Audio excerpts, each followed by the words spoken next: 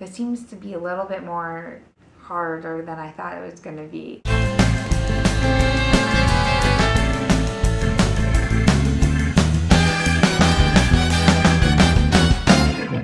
Hey guys, it's Serena. Welcome to Let Me Try That, where I find things online and try it myself from everything from cooking, crafts, to anything else, do it yourself. Today, we are making little flower holders. We're using paint and glitter. So it'll make these little dollar, cheap dollar things all fancy-ish. I've seen this posted a few times on Pinterest. Some were painted and then the other ones were glitter. So I figured I'd, since I have two things, I'll try one of each. Let's get started. I'm actually making these for um, to be used as a centerpiece bas in a basket thing for my sister's bridal shower. I've seen a few of these posts where they've used like a bunch of different vases. I use little heart ones because it's for Valentine's Day and that's why I also have pink glitter and red paint. But you can use these for anything, anything centerpieces, little gifts or whatever. So the first one I'm going to make is the painted one.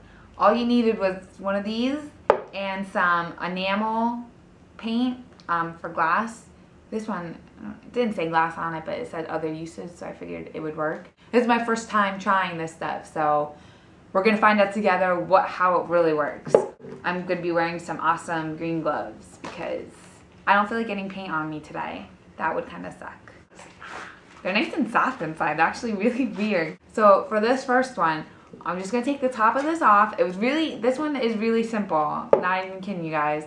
All you do is just take the paint and you're gonna pour some of the paint into here and just swirl it around so it covers. It's really, really simple, so they say.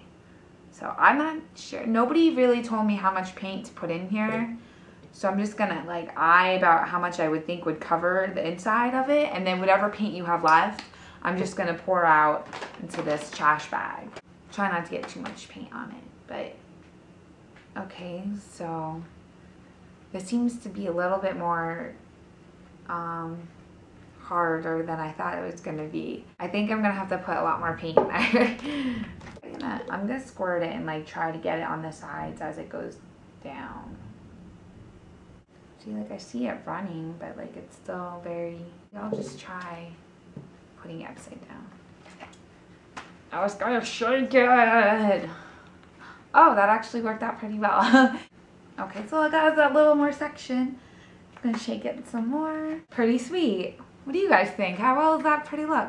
So I think I'm just gonna let this sit right here upside down and let some of this paint come out of it. Okay, so I changed out my little paper. I put that over there to dry for a little. For my second one, I'm this is the glitter heart. Yay!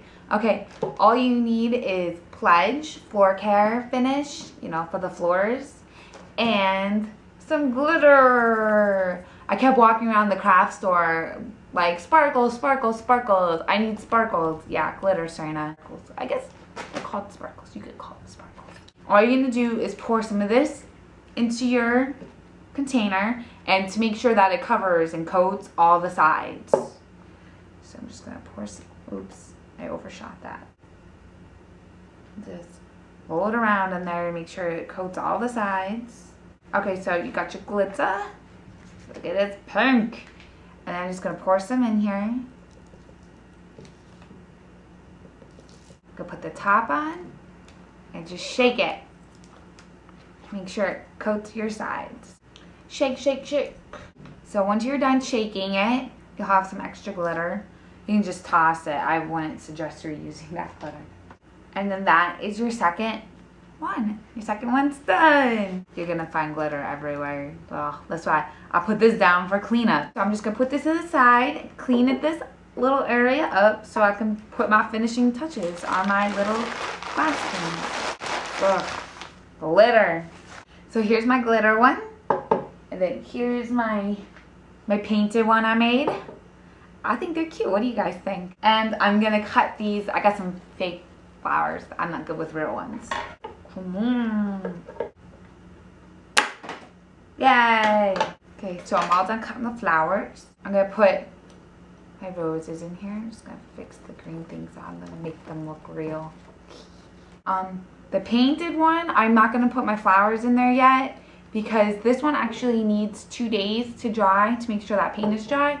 But unlike unlike this one, like the paint in here is most likely gonna stay, not wear off as much, where the glitter one, the more times you put things in it and things out of it, the glitter will like gradually kind of go away so and get on everything else. So I'm just gonna put my four little roses in there. I think that looks cute.